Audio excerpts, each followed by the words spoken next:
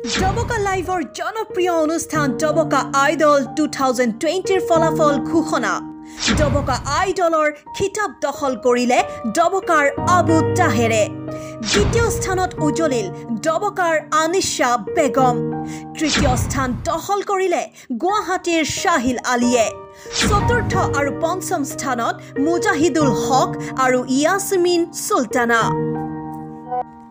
ডবকা লাইভৰ জনপ্ৰিয় অনুষ্ঠান ডবকা আইডলৰ দুহেজাৰ বিছ বৰ্ষৰ ফলাফল আজি ঘোষণা কৰা হয়। ঘোষণা কৰা ফলাফল অনুসৰি ডবকা আইডলৰ খিতাপ দখল কৰে ডবকাৰ চাহ দোকানী আবু তাহেৰে। দ্বিতীয় স্থান দখল কৰে ডবকাৰ তিনি নম্বৰ ৱাৰ্ডৰ আনিশা বেগমে। তিনি নম্বৰ স্থান দখল কৰে গুৱাহাটীৰ শ্বাহিল আলীয়ে। চতুৰ্থ আৰু পঞ্চম স্থান দখল কৰিবলৈ সক্ষম হয় দৰঙৰ মুজাহিদুল হক আৰু ৰাঙলুৰ য়াছমিন চুলতানাই। উল্লেখযোগ্য যে ডবকা লাইভৰ এই অনুষ্ঠানত প্ৰায় দুই শতাধিক প্ৰতিযোগীয়ে নিজৰ গীতসমূহ পঠাইছিল। তাৰ পৰা বাছি বাছি মাত্ৰ একৈছগৰাকী প্ৰতিযোগীৰ গীত আপলোড কৰিছিল ডবকা লাইভে। আজি ডবকাৰ বুঢ়ীগংগাত অনুষ্ঠিত হয় বঁটা বিতৰণী সভা।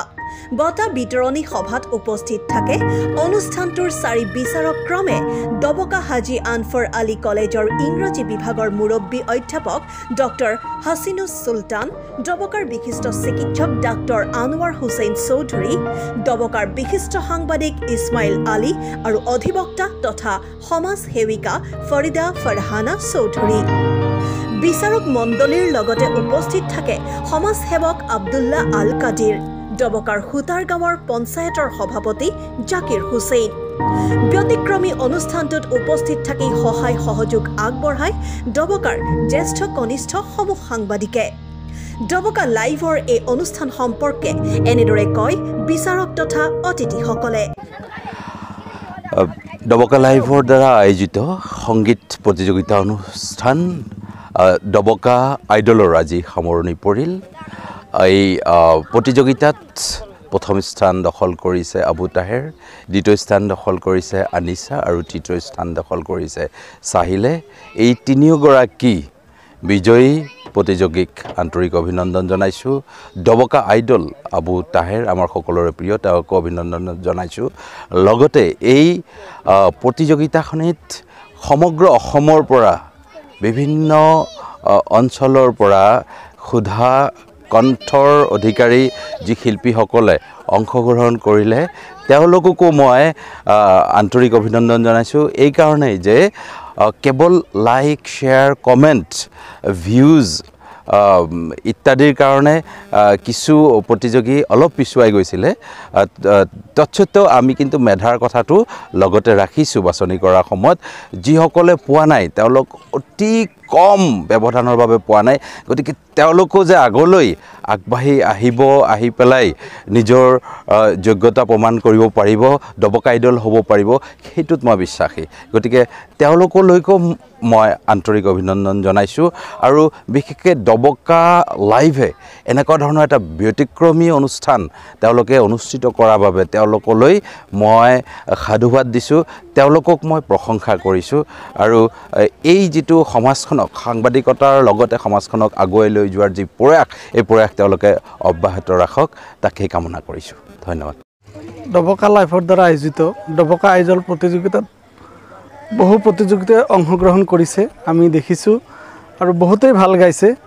আমি বহুত চিলেকশ্যন কৰোঁতে বহুত চিন্তা কৰিবলগীয়া হৈছে। তথাপি আমি চেষ্টা কৰিছোঁ সম্পূৰ্ণ নিকা হিচাপে যাতে উপযুক্ত শুদ্ধ নিৰ্বাচন হয় আৰু তাৰে চেষ্টা কৰিছিলোঁ আৰু ভাবিছোঁ আশা কৰিছোঁ আমাৰ যিটো যিকেইজনে প্ৰতিযোগীয়ে পুৰস্কৃত হৈছে সম্পূৰ্ণ ন্যায়িকভাৱে পাইছে। আৰু যিসকলে পোৱা নাই এখেতসকলেও দুখ কৰিব নালাগে কাৰণ বহুত কম হেৰিৰ বিনিময়ত চিলেকশ্যন হৈছে। গতিকে যিসকলে পোৱা নাই এখেতসকলৰ ভৱিষ্যতলৈ মই আগুৱাই যাবলৈ আহ্বান জনাইছোঁ যাতে এখেতসকলে দুখ নকৰে।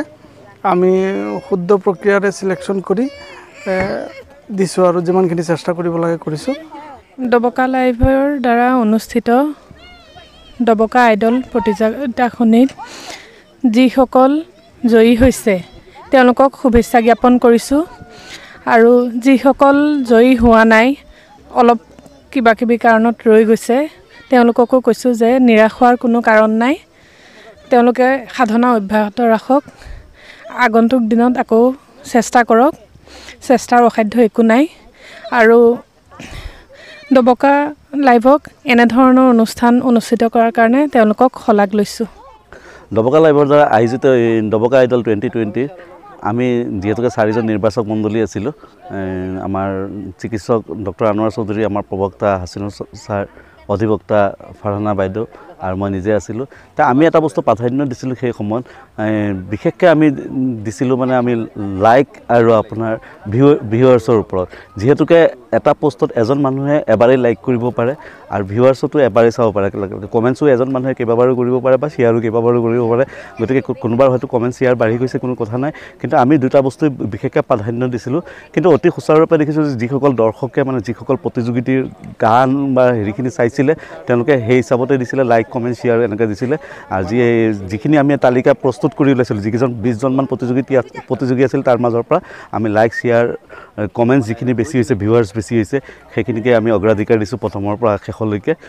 আশা কৰিছোঁ আজি যি দুগৰাকী প্ৰতিযোগী বিজয়ী হৈছে তেওঁলোকক অশেষ আন্তৰিক অভিনন্দন জনাইছোঁ আৰু যিসকল মানে ইয়াত অংশগ্ৰহণ কৰিছে বা অংশগ্ৰহণ কৰি পেলাই মানে খিতাপ অৰ্জন কৰিব পৰা নাই আশা কৰিছোঁ আগন্তুক দিনত তেওঁলোকে আৰু অধিক মানে কষ্টৰে সাফল্য লাভ কৰিবলৈ সক্ষম হ'ব।